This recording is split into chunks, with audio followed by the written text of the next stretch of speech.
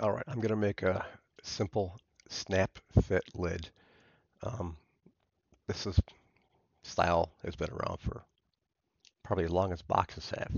So, and I'm sure there's a hundred ways of doing this and everyone does it differently and I'm no expert at Fusion, but this is the way I've been doing it and it works out real well for me. So I have a box. So what I'm going to do is make a new drawing and use the top lid of that or new sketch, I mean, do a two point rectangle from this corner all the way to this corner. You just need to have a, something you can use for a lid. Um, gonna finish that. Now I'm going to extrude this up two millimeters. Make sure you grab the inside and the outside. I found two millimeters is fine for strength, especially since we're going to extrude it down another two in a second. All right, so let's make this a two millimeter extrude up and make sure that it has new body picked over here. So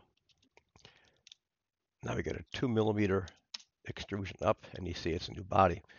So next thing we're going to do is we're going to make another drawing. And again, you may have a better way of doing this, but you know, I'm lazy and this works for me. Okay, I know my walls on the box are two millimeters thick. So I'm going to do an offset. Now this is going to be an insert. So I'm going to do minus two point, and the point, the decimal really depends on the accuracy of your printer. Um, if the walls are two millimeters, um, you want to make your inset a little more than two millimeters, but not too much because the snap fit won't work. So I'm going to go with 2.1 and I find that that works really well for me. All right, now, next thing I'm going to do is turn off the box and I really should name these.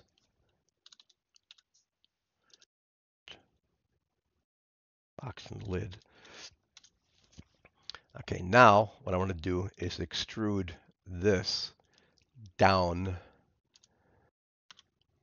four millimeters. That's the thickness of the lid that's already there and the two millimeters that I want. Make that join and tell it okay. Uh, so there is a really basic, simple lid. Now let's turn the box back on. Isn't that pretty? Oh, not really, but okay. Now the next thing we need to do is make a little dimple on the box and a matching hole in the lid. So let's turn the lid off. And this is a square. Usually I find if it's a rectangular box, I like to put this, uh, two or three snaps on the long edge. But since a, this is a rectangle, I mean a square, it doesn't really matter. All right, so next thing is I'm going to make another drawing here. And let's see here. I found that um, a two millimeter dimple, if dimple's the right word, seems to be the best. So what I'll do is I'm just going to draw a rectangle up and I meant to make it a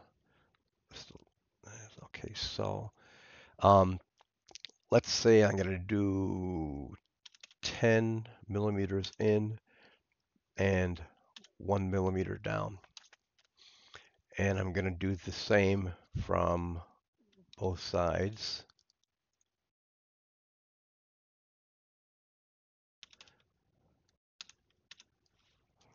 And what this does is gives me a point to create a circle. So now I'm going to make a circle, and that's going to be two millimeters. And I'm going to repeat the same step until I have the number of dimples that I want. These are going to be the dimples. So make it, is dimple the right word or would it be pimple? I don't know. so now I want to make the same thing on this side. But what I can do, let's finish that sketch, create a new sketch on this one, and you'll notice we can see previous stuff we just did. So this next step is a bit faster. Now I know I'm on the outside wall, but that's fine. Like I said, I'm just lazy. And my wall is two millimeters thick, so I'm gonna go to extrude. And let's make this minus four. I'm sorry, minus three. We wanted to stick out one millimeter. Join, okay. Uh, it turned my sketch off, all right. And then extrude again. I could have done that in one step, but make sure it's join.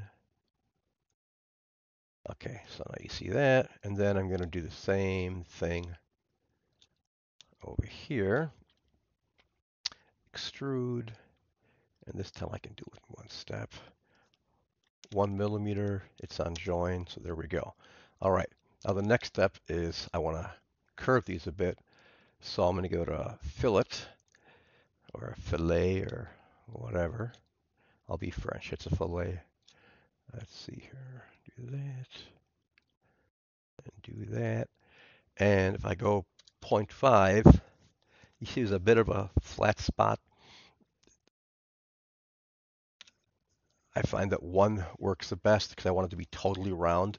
So what I wound up with now is this little bump on four spots. Like I say, for a long lid, you can make four of these. I mean, sorry, you know, six of these or eight of these, however many you want. But I found this works really fine. Okay, now we want to do is make matching holes in the lid. So let's turn our lid on. And what we're going to do is, I just like turning the box to uh, about a 50% opacity.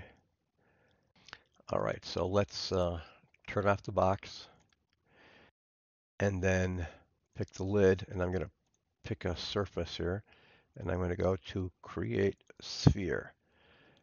Then I'm turning the box back on and that's just so I can see where the sphere is going to go. So I click on that, it automatically fills in two millimeters. If it doesn't, just type in two. I hit enter. And let's turn off the box again, and you can see the lid has a nice little half sphere hole in it. So I'm going to do four more of these. So turn the box back on. Da -da -da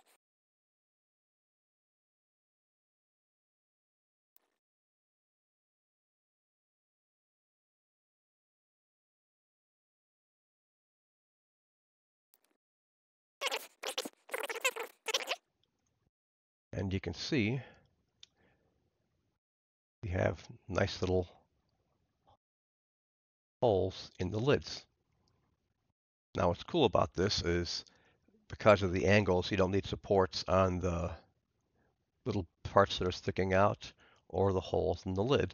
And what you wind up with is a really nice snap fit. So here's a sample of a couple of boxes that I put together like this. You can see the lids are flush, which is kind of the way I like it. You could put holes in here to make a handle, but I just kind of take my nails and pop the box off. And um, you can see right there is a little hole and a little matching dimple. And all you do is take and push it in place. And that's it.